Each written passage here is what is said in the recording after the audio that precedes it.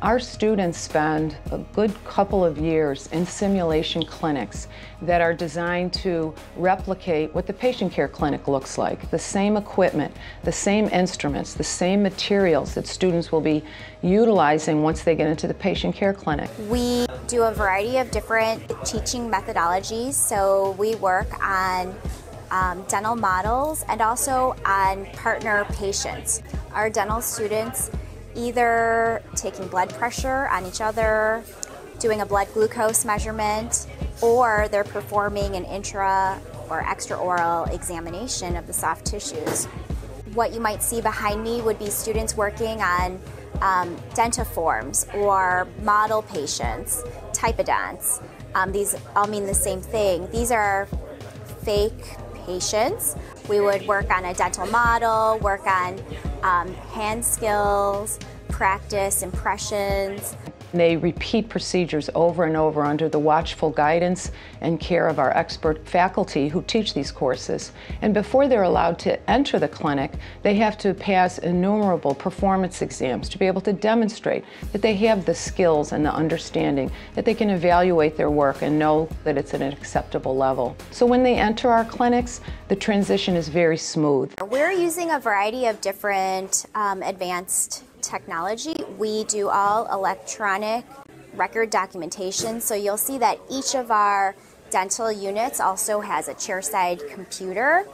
And um, on the chairside computer, students can access axiUm, which is our um, electronic patient record documentation software. So once they have done the examination on each other, they collect the medical history, dental history, they do the clinical examination, examination of the dentition, and they learn how to enter the forms, how to write a note using the right terminology uh, when they, so then they can be prepared for their own patients when they get to clinic. We have our digital design center, which is where we're doing CAD CAM dentistry. We will make a preparation or perform a preparation on a Dentec model, go to the digital design center, scan it, and we create a digital restoration or a digital wax up.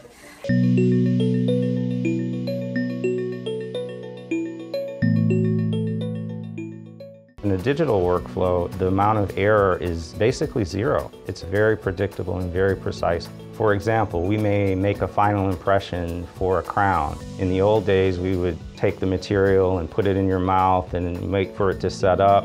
And then we have to pour casts, and it, it, it's a very long, arduous procedure.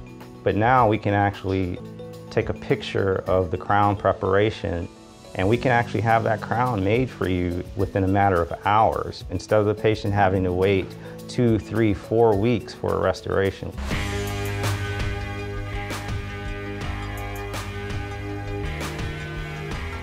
We need to strive to have the best in terms of education. We need to strive with that education to be connected to the rest of the health sciences, um, which is, happens in contemporary dental practice today we need to make sure that our students are ready and prepared for those experiences to be able to address the issues and the needs of the 21st to the 22nd century, which is not that far away when you think of it.